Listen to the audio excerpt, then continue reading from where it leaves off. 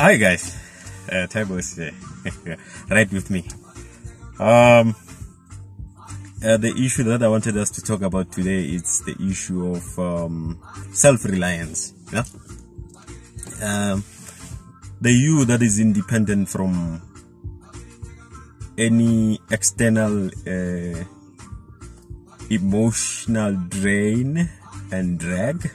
Know, um, the you that inspires you, you know, inspirational independence, you know, how important is that?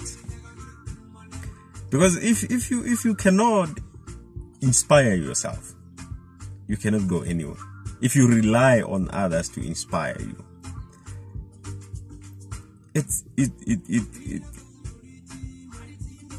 you don't have that much of a value or impact in yourself and the first person that needs to have impact in you it's you you know?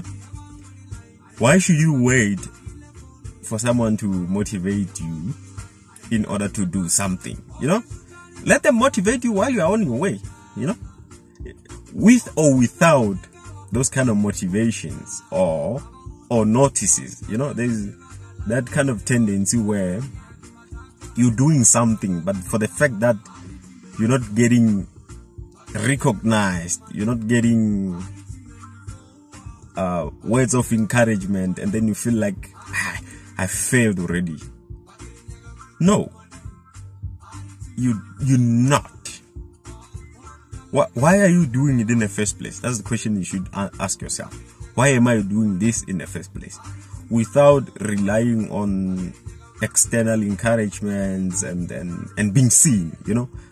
Don't do things for attention, but do things for a reason, your own reason. Not for us. Not, not for them. For you. You know? So that, that's, that's, that's what I wanted us to talk about. How important it is for you to be independent from external forces of influence, you know? Because if you're doing something for someone else's reasons or for likes to be seen,